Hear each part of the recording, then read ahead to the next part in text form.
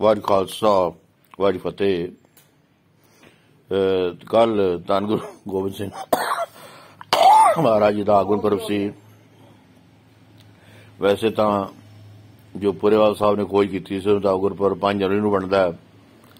ਜੇ ਸਾਡੇ ਜਨਮ ਦਿਨ ਸਾਲ 'ਚ ਇੱਕ ਵਾਰੀ ਆਉਂਦੇ ਨੇ, ਤੇ ਇਹ ਗੱਲ ਬੜੀ ਅਨਹੋਣੀ ਜੀ ਜਾਂ ਹਾਸੋਹੀਣੀ ਲੱਗਦੀ ਹੈ ਕਿ ਇੱਕ ਸਾਲ ਗੁਰੂ ਗੋਬਿੰਦ ਗੁਰਪੁਰਬ ਦੋ ਵਾਰੀ ਆਵੇ ਤੇ ਇੱਕ ਸਾਲ 'ਚ ਆਵੇ ਹੀ ਨਾ। ਅਸਲ ਵਿੱਚ ਪਿਛਲੇ ਕਈ ਸਾਲਾਂ ਤੋਂ ਜਿਸ ਤਰ੍ਹਾਂ ਪੰਡਤ ਲੋਕ ਡੇਟਾਂ ਕੱਢਦੇ ਨੇ, ਵਧੀ ਸੁਧੀ ਦੇ ਮੁਤਾਬਕ ਇਹ ਗੁਰਪੁਰਬ ਨੇ, ਇਹ ਡੇਟਾ ਉਹ ਹੀ ਕੱਢਦੇ ਆ ਰਹੇ ਸਨ। ਅਤੇ ਸਿੱਖ ਕੌਮ ਸੋਚੀ ਪਈ ਹੋਈ ਸੀ ਕਿ ਇਹਦਾ ਕੀ ਹਾਲ ਕਰੀਏ। ਤਾਂ ਪੁਰੇਵਾਲ ਸਾਹਿਬ ਨੇ ਕਈ ਸਾਲ ਦੀ ਖੋਜ ਤੋਂ ਬਾਅਦ ਨਾਨਕਸ਼ਾਹੀ ਕੈਲੰਡਰ ਦੀ ਖੋਜ ਕੀਤੀ ਕਿ ਡੇਟਾਂ ਫਿਕਸ ਹੋ ਜਾਣ। ਤੇ ਉਸ ਵੇਲੇ ਜੋ ਸ਼੍ਰੋਮਣੀ ਕਮੇਟੀ ਦੇ ਪ੍ਰਧਾਨ ਸਨ, ਮੈਨੂੰ ਇਸ ਦਾ ਨਾਂ ਨਹੀਂ ਪਤਾ ਉਹਨਾਂ ਨੇ ਇਸ ਚੀਜ਼ ਨੂੰ ਪ੍ਰਵਾਨਗੀ ਦਿੱਤੀ ਤੇ ਪੂਰੇ ਸਾਹਿਬ ਦਾ ਸਨਮਾਨ ਵੀ ਹੋਇਆ ਤੇ ਸਾਰੀ ਕੌਮ ਦੇ ਅੰਦਰ ਔਰ ਸਾਰੇ ਸੰਸਾਰ ਦੇ ਅੰਦਰ ਖੁਸ਼ੀ ਲਹਿਰ ਫੈਲ ਗਈ ਕਿ ਹੁਣ ਗੁਰੂ ਗੁਰਪੁਰਬ ਦੀਆਂ ਡੇਟਾਂ ਫਿਕਸ ਹੋ ਗਈਆਂ ਨੇ ਤੇ 5 ਜਨਵਰੀ ਨੂੰ ਗੁਰੂ ਗੋਬਿੰਦ ਸਿੰਘ ਗੁਰਦੁਆਰਾ ਸਾਹਿਬ ਲਾਇਆ ਕਰੇਗਾ, ਪਰ ਬਣਾਇਆ ਵੀ ਗਿਆ। ਪਰ ਜਿਵੇਂ ਸਾਰਿਆਂ ਨੂੰ ਪਤਾ ਆ ਕਿ ਸਾਡੇ ਦੇਸ਼ ਵਿੱਚ ਜਿਹੜੇ ਪੋਲੀਟੀਸ਼ੀਅਨ ਨੇ, ਉਹ ਗੰਦੀ ਸਿਆਸਤ ਖੇਡਦੇ ਨੇ ਤੇ ਜਿਹੜੇ ਸੰਤ ਸਮਾਜ ਹੈ ਕਹਿਣ ਨੂੰ ਉਹ ਧਰਮ ਦੇ ਪ੍ਰਚਾਰਕ ਨੇ ਲੇਕਿਨ ਚੰਗੀਆਂ ਗੱਲਾਂ ਹੋਣ ਦੇ ਬਾਵਜੂਦ ਉਹਨਾਂ ਅੰਦਰ ਬ੍ਰਾਹਮਣਵਾਦ ਦੀ ਪੁੱਟ ਜ਼ਰੂਰ ਚੜੀ ਹੋਈ ਹੈ। ਤੇ ਉਹਨਾਂ ਨੇ ਇਸ ਗੱਲ ਦਾ ਵਿਦਰੋਹ ਕਰਤਾ। ਤੇ ਕਿਉਂਕਿ ਪਿੰਡਾਂ 'ਚ ਬਹੁ ਗਿਣਤੀ ਉਹਨਾਂ ਦੀ ਹੈ, ਤੇ ਬਾਦਲਾਂ ਨੂੰ ਪਿੰਡਾਂ 'ਚ ਵੋਟ ਮਿਲਦੀ ਹੈ। ਤੇ ਬਾਦਲਾਂ ਨੇ ਉਹਨਾਂ ਅੱਗੇ ਝੁੱਕ ਕੇ ਜਥੇਦਾਰ ਉਦਾਰ ਸਿੰਘ ਮੱਕੜ ਤੇ ਜਿਹੜਾ ਦੋਂਦੀ ਟਸਾਲ ਦੇ ਮੁਖੀ ਧੁੰਮਾ ਦੋ ਵਾਰੀ ਕਮੇਟੀ ਬਣਾਤੀ। ਤੇ ਨਾਲ ਅੰਦਰ ਕਹਿਤਾ ਵੀ ਤੁਸੀਂ ਫੈਸਲਾ ਇਹੀ ਕਰਨਾ ਕਿ ਜਿਹੜਾ ਕੈਲੰਡਰ ਖਤਮ ਕੀਤਾ ਜਾਂਦਾ। ਕਿਉਂਕਿ ਚਾਹੇ ਪ੍ਰਧਾਨ ਸ਼੍ਰੋਮਣੀ ਕਮੇਟੀ ਹੋਵੇ ਚਾਹੇ ਕੋਈ ਧੁੰਮਾ ਹੋਵੇ, ਇਹਨਾਂ ਸਾਰਿਆਂ ਦੀ ਆਪਸ ਵਿੱਚ ਮਿਲੀ ਭੁਗਤ ਹੁੰਦੀ ਹੈ ਤੇ ਇਹਨਾਂ ਨੇ ਨਾਨਕ ਕੈਲੰਡਰ ਦਾ ਕਤਲ ਕੀਤਾ। ਅਤੇ ਸਾਰੀ ਕੌਮ 'ਚ ਵਿਦਰੋਹ ਪੈਦਾ ਹੋਇਆ, ਲੇਕਿਨ ਵਿਦਰੋਹ ਜਿਵੇਂ ਹੋਣਾ ਚਾਹੀਦਾ ਉਸ ਤਰ੍ਹਾਂ ਨਹੀਂ ਹੈ। ਸਾਡੀ ਕੌਮ 'ਚ ਮੈਂ ਕੁਝ ਕੁ ਵਰਜੀਵੜੇ ਹੁੰਦੇ ਨੇ, ਜਿਹੜੇ ਕੁਝ ਦਮ ਰੱਖਦੇ ਨੇ, ਲੇਕਿਨ ਬਹੁਤੇ ਸਿਰਫ ਅਖਬਾਰਾਂ ਵਿੱਚ ਇਧਰ ਉਧਰ ਬਿਆਨ ਹੀ ਦੇ ਸਕਦੇ ਨੇ। ਨਹੀਂ ਤਾਂ ਹੋਣਾ ਇਹ ਚਾਹੀਦਾ ਕਿ ਜਿਨ੍ਹਾਂ ਨੇ ਨਾਨਕ ਕੈਲੰਡਰ ਦਾ ਕਤਲ ਕੀਤਾ, ਫੜ ਕੇ ਲੰਮੇ ਪਾ ਲਓ ਤੇ ਉਹਨਾਂ ਨੂੰ ਅਕਲ ਆਵੇ ਵੀ ਅਸੀਂ ਕਿਸ ਤਰ੍ਹਾਂ ਸਿੱਖ ਹੋਣਾ ਕਾਣ ਕਰਦੇ ਹਾਂ। ਜੇ ਸਿੱਖ ਕੌਮ ਉੱਤੇ ਕੋਈ ਹਮਲਾ ਹੋਵੇ ਤੇ ਬੰਦੇ ਉਹਦਾ ਮੁਕਾਬਲਾ ਕਰਦੇ ਨੇ, ਸਿੱਖ ਸਿਧਾਂਤਾਂ ਤੇ ਹਮਲਾ ਅਸੀਂ ਕਿਉਂ ਬਰਦਾਸ਼ਤ ਕਰ ਲੈਂਦੇ ਆ ਤੇ ਸਿਰਫ ਖਾਲੀ ਬਿਆਨਬਾਜ਼ੀ ਕਰਕੇ ਚੁੱਪ ਕਰਕੇ ਰਹਿੰਦੇ ਆ ਤੇ ਇਹ ਵਿਦਰੋਹ ਤਗੜੇ ਲੈਵਲ ਤੇ ਹੋਣਾ ਚਾਹੀਦਾ। ਚਲੋ ਖੈਰ ਮੈਂ ਇਸ ਪਾਸੇ ਨਾ ਜਾਵਾਂ। ਹੁਣ ਗੁਰਪੁਰਬ ਚਾਹੇ ਜਿਵੇਂ ਮਰਜ਼ੀ ਘਰ ਬਣਾਇਆ ਗਿਆ, ਜਾਂ 5 ਜਨਵਰੀ ਨੂੰ ਬਣਾਇਆ ਜਾਏਗਾ, ਆਪਾਂ ਗੁਰੂ ਗੋਬਿੰਦ ਸਿੰਘ ਜੀ ਬਾਰੇ ਵਿਚਾਰ ਕਰੀਏ। ਗੁਰੂ ਗੋਬਿੰਦ ਸਿੰਘ ਜੀ ਦਾ ਜਿਹੜਾ ਪ੍ਰਕਾਸ਼ ਹੈ, ਉਹ ਪਟਨਾ ਸਾਹਿਬ ਹੋਇਆ।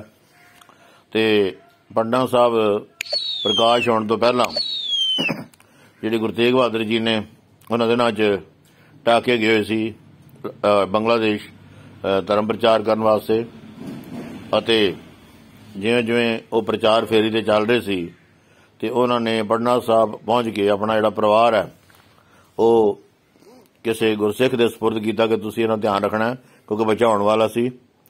ਦੇਖੋ ਕਿੰਨੀ ਵੱਡੀ ਕੁਰਬਾਨੀ ਹੈ, ਘਰ 'ਚ ਬੱਚਾ ਆਉਣ ਵਾਲਾ ਹੋਵੇ ਤੇ ਧੰਨ ਗੁਰੂ ਤੇਗ ਬਹਾਦਰ ਜੀ ਧਰਮ ਪ੍ਰਚਾਰ ਦੀ ਫੇਰੀ ਤੇ ਗਏ ਹੋਏ ਨੇ, ਉਹਨਾਂ ਨੂੰ ਆਪਣੇ ਪਰਿਵਾਰਕ ਮੋਹ ਨਾਲੋਂ ਜੀ ਮਾਨਵਤਾ ਦਾ ਭਲਾ ਉਹ ਸਭ ਤੋਂ ਪਹਿਲੇ ਸੋ ਜਦੋਂ ਉੱਥੋਂ ਢਾਕੇ ਤੋਂ ਵਾਪਸ ਆਏ ਨੇ, ਜਿਹੜਾ ਬੱਚਾ ਸੀ ਜ਼ਿੰਮੇਵਾਰੀਆਂ ਜਿਹੜਾ ਬੱਚਾ ਸੀ 3.5 ਸਾਲ ਦਾ ਹੋ ਚੁੱਕਾ ਸੀ ਤੇ ਜਦੋਂ ਉਹਨਾਂ ਨੇ ਬੱਚੇ ਦੇ ਮਿਲੇ ਜਾਂ ਬੱਚੇ ਨੂੰ ਦਰਸ਼ਨ ਕੀਤੇ ਉਹਨਾਂ ਦੇ ਮਨ ਨੂੰ ਬਹੁਤ ਖੁਸ਼ੀ ਹੋਈ ਕਿ ਘਰ ਸੱਚੇ ਪਾਤਸ਼ਾਹ ਨੇ, ਅਕਾਲ ਪੁਰਖ ਵਾਹਿਗੁਰੂ ਨੇ ਇੱਕ ਬੱਚੇ ਦੀ ਦਾਤ ਦਿੱਤੀ ਹੈ। ਇਹ ਬੱਚਾ ਕੋਈ ਆਮ ਬੱਚਾ ਨਹੀਂ ਸੀ। ਇਹ ਸ਼ੁਰੂ ਤੋਂ ਹੀ ਅਕਾਲ ਪੁਰਖ ਵਾਹਿਗੁਰੂ ਦੀ ਬਖਸ਼ਿਸ਼ ਲੈ ਕੇ ਆਇਆ ਸੀ। ਜਦੋਂ ਇਸ ਬੱਚੇ ਦਾ ਜਨਮ ਹੋਇਆ, ਤਾਂ ਪ੍ਰਕਾਸ਼ ਹੋਇਆ, ਤਾਂ ਇੱਕ ਮੁਸਲਮਾਨ ਫਕੀਰ ਸੀ। ਉਹਨੂੰ ਆਪਣੇ ਘਰ ਬੈਠੇ ਅਹਿਸਾਸ ਹੋਇਆ ਜੀ। ਪੀਰ ਭੀਖਣ ਸ਼ਾਹ ਜੀ ਕਿ ਪਟਨਾ ਸਾਹਿਬ ਕਿਸੇ ਮਹਾਪੁਰਖ ਦਾ ਅਵਤਾਰ ਹੋਇਆ। ਤਾਂ ਉਹ ਉੱਥੇ ਪਹੁੰਚ ਗਏ। ਕਹਿੰਦੇ ਮੈਨੂੰ ਬੱਚੇ ਦਰਸ਼ਨ ਕਰਾ ਦਿਓ। ਹੁਣ ਜਿਵੇਂ ਕਿ ਹਿੰਦੁਸਤਾਨੀ ਕਲਚਰ 'ਚ ਰਿਵਾਜ ਹੈ ਕਿ ਨਵੇਂ ਜਿਵੇਂ ਬੱਚਿਆਂ ਨੂੰ ਇੱਕਦਮ ਬਾਹਰ ਨਹੀਂ ਕੱਢਿਆ ਜਾਂਦਾ। ਪਰ ਉਹਨਾਂ ਨੇ ਕਿਹਾ ਕਿ ਜਦ ਤੱਕ ਤੁਸੀਂ ਬੱਚੇ ਦਰਸ਼ਨ ਨਹੀਂ ਕਰਾਉਂਦੇ ਮੈਂ ਉੱਥੋਂ ਜਾਣਾ ਨਹੀਂ ਹੈਗਾ।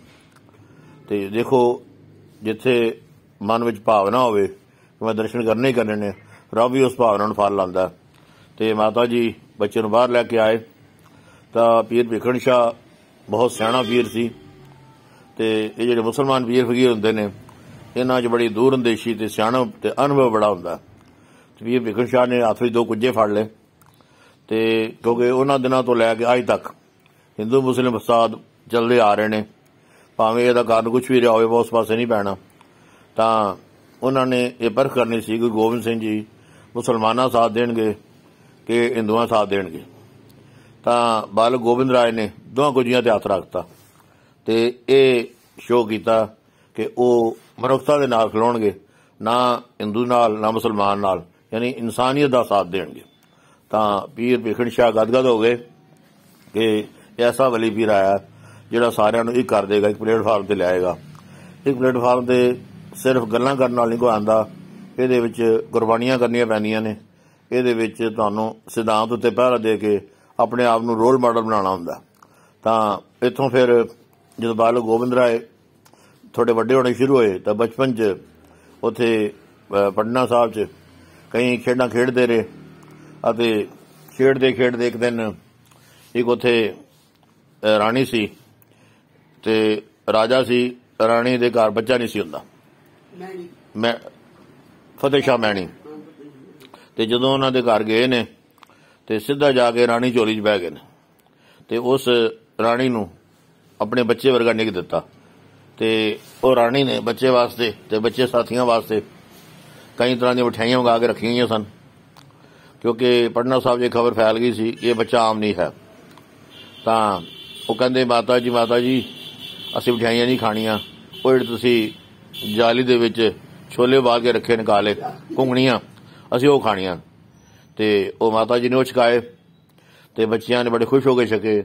ਤੇ ਅੱਜ ਵੀ ਤੁਸੀਂ ਪਟਨਾ ਸਾਹਿਬ ਜਾਓ ਜਿਹੜਾ ਰਾਣੀ ਦੇ ਨਾਂ ਤੇ ਗੁਰਦੁਆਰਾ ਸਾਹਿਬ ਬਣਿਆ। ਹੈ, ਬਾਲੀ ਦਾ ਸਾਹਿਬ।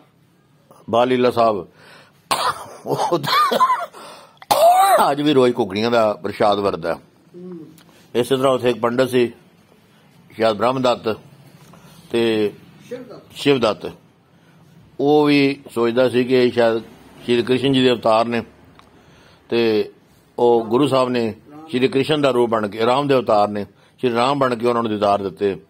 ਅਤੇ ਹਰ ਇੱਕ ਦੇ ਮਨ ਵਿੱਚ ਇਹ ਭਾਵਨਾ ਆਈ ਕਿ ਇਹ ਇੱਕ ਐਸਾ ਵਲੀ ਪੀਰ ਅਵਤਾਰ ਹੈ ਜਿਹੜਾ ਸਾਰੀ ਮਾਨਵਤਾ ਦਾ ਸਾਂਝਾ ਹੈ।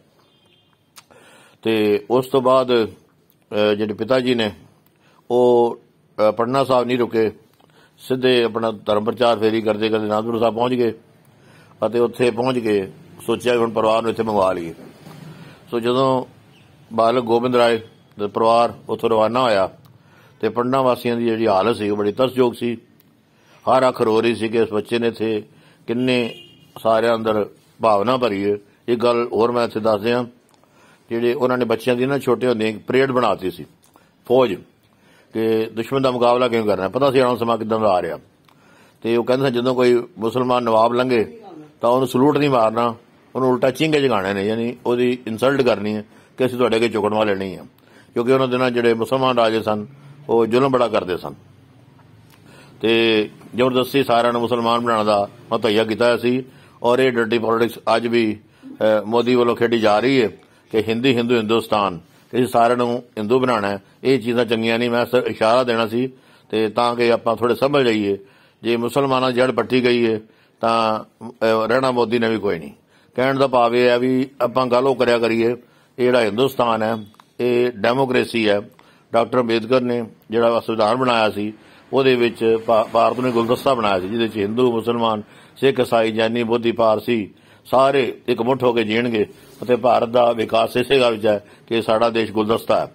ਤੋਂ ਖੈਰ, ਇਸ ਅੱਗੇ ਚਲੀਏ ਤੇ ਗੁਰੂ ਗੋਬਿੰਦ ਸਿੰਘ ਜੀ ਉੱਥੋਂ ਆਪਣੇ ਬੱਚਿਆਂ ਸਮੇਤ, ਆਪਣਾ ਪਰਿਵਾਰ ਸਮੇਤ ਆ ਰਹੇ ਨੇ।